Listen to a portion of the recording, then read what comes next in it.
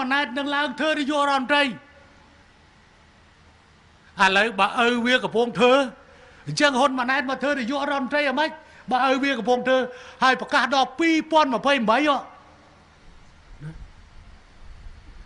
ហើយវាថាហ៊ុនម៉ាណែតធ្វើមេតប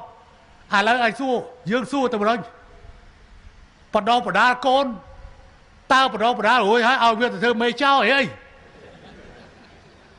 និយាយច្បាស់មកខ្លួនឯងនេះណាមិនតន់ទាំងបានកាន់អំណាចផងប្រៃក៏សមាជិកសភាប្រពន្ធក៏សមាជិកសភាហើយមានអ្នកខ្លះប្រពន្ធដល់ទៅ2ជាសមាជិកសភាណាមិនក៏ឯងមិនថាហើយខ្ញុំក្រត់តែកូនធ្វើកងតបធ្វើសមាជិកសភា មិនអាចធ្វើបានទេតែខ្ញុំគ្រាន់តែហាមមិនឲ្យកូនចូលជាសមាជិករដ្ឋាភិបាលទេខ្ញុំបញ្យកកូនខ្ញុំឲ្យចូលជាសមាជិករដ្ឋាភិបាលហើយនឹងមកខាងមកខាងទៀតមិនឲ្យកូនខ្ញុំចូលលោកលំ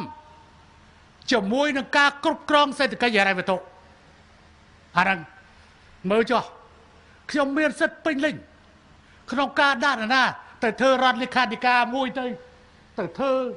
មេកយទៅធ្វើអនុកយធ្វើពុនដែរតែមើលអត់មានកូនរបស់ហ៊ុនសែនទេអាហ្នឹងខ្ញុំហាមខ្ញុំហាមសូមឲ្យកូនយោគយល់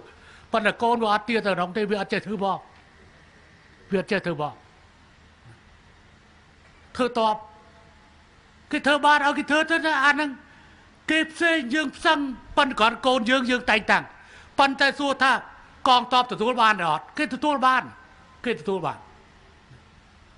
អញ្ចឹងណែឯងចង់ចង់បដោបដាកូនបានហើយឲ្យកូនទៅមេចោលក្នុងពេលដែលឪពុកធ្វើនាយករដ្ឋមន្ត្រីអានេះឈួតលប់